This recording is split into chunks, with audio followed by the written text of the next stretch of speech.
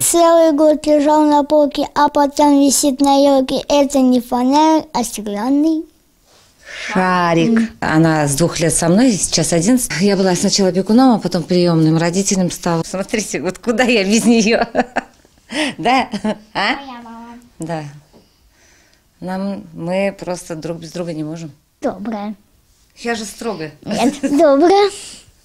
А еще какая? А, хорошая и любимая. Пол шестого подъем, до 10 тренировки, потом мы в школу идем. С 5 до 9 опять тренировки. У нас день-то насыщенный получается. Наверное, все-таки я строгая мама. Я добрая. Дарина Гельванова занимается плаванием уже седьмой год. 11-летняя девочка показывает хорошие результаты. В этом году она заняла третье место в открытом чемпионате Республики Башкортостан по плаванию среди всех категорий спортсменов с ограниченными возможностями здоровья, а также первое место на Кубке Уфы. Поздравить будущую паралимпийскую чемпионку с наступающим Новым годом пришли Дед Мороз и Снегурочка, в роли которых впервые выступили Елена Хусаинова и Данила Алексеев. Они, как и Дарина, воспитываются в замещающих семьях. Здравствуй. Это ты у нас будущая олимпийская чемпионка? Да. Это ты у нас лучшая помощница да. мам?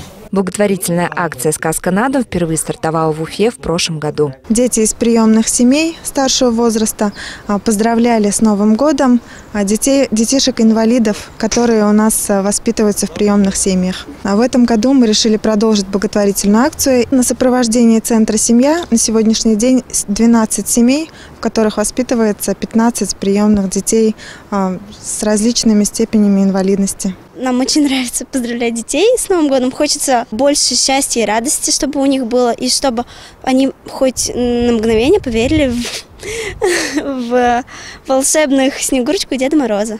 Алина Гребешкова, Александр Кузнецов, городской телеканал ЮТВ.